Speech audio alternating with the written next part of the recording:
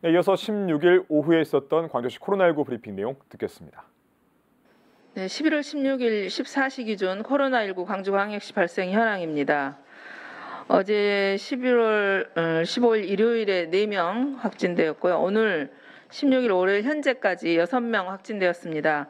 총 누적 확진자 수 566명입니다. 모두 52명 지금 있는 환자 모두 경증입니다. 검사 현황입니다. 어제 2,564건 검사 진행했고요. 어, 18만 5,270건 누적 검사 중에서 566건 양성, 18만 3,537건 음성입니다. 현재 1,167건 진행 중입니다. 이거는 전남대에서 자체적으로 검사하고 있는 것과는 별개입니다. 해외 입국자 현황입니다. 어제 11월 14일 19명 입국했고요. 15일에는 9명 입국했습니다. 병상 현황입니다. 광주 환자 현재 46명 입원해 있고요. 총 가연 병상 수 231병상 중 186병상입니다. 다음 확진자 발생 현황 어제 일자별로 다시 한번 설명드리겠습니다. 어, 일요일 확진자는 지역 감염 4명입니다.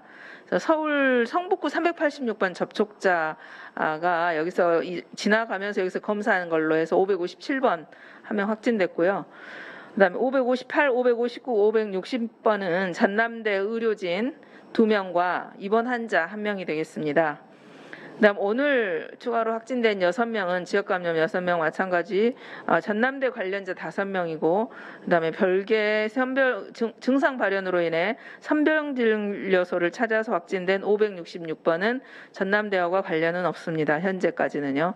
그래서 전남대 관련자는 561, 562번은 어, 전남대 입주업체 직원이고요. 563번은 어, 562번의 지인이 되겠습니다.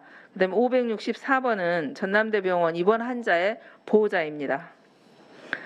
어, 총괄적으로 유, 어, 유형별로 발생 현황을 보면 지금 전남대 병원 관련이 14명입니다. 교도소 관련은 10명 변동 없고요. 그 중에 4명은 호맥 관련이고요. 상무 룸소 주방도 11명, 그 중에 2명은 음, 호맥 관련입니다. 전남대병원 관련에 대해서 세부적으로 다시 한번 말씀드리겠습니다. 지표 환자 546번이 11월 13일에 어, 금요일 11시 확진 이후로 현재 총 확진자 14명입니다. 그래서 날짜별로 구별을 해보면 13일 금요일에 지표 환자 546번이 의사 1명이 발생했고요.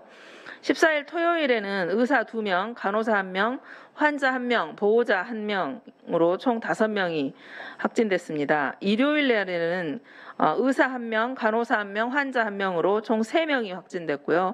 오늘 월요일에는 어, 의사는 없고 보호자 1명, 어, 방사선사 1명, 입주업체 2명, 그 관련된 지인 1명이 되겠습니다. 그래서 총 5명이 확진됐습니다. 지금 전, 현재 전수검사하고 있는 실시 현황입니다. 현재 4,776건 전수검사했고요. 그 중에서 지표 환자 포함해서 14명 약 아, 양성으로 확진됐고요. 지금 음성으로는 3,219명 확진됐습니다. 현재 1,543건 진행 중입니다. 저희들 지금 현재 이제 의사들 오늘 오전까지 해서 전체적으로 평가를 마쳤습니다.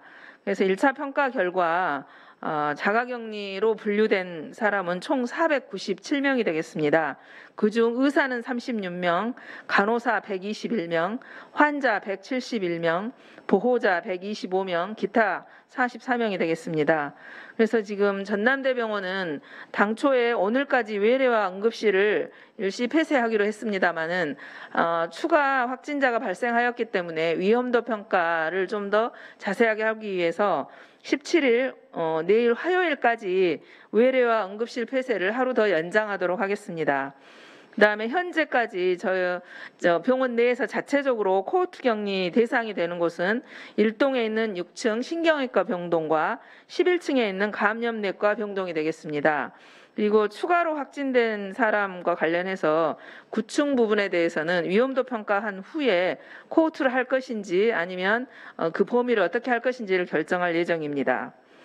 그다음에 나머지 환자 부분에 대해서는 입원 환자들을 중등도 분류를 한 후에 관내 종합부병원과 상호 연계해서 전원 추진하는 부분은 오늘 오후부터 내일부터 진행할 수 있도록 하겠습니다. 현재 저희 시에서는 긴급 의료 인력을 지원 요청을 중수본에 했습니다.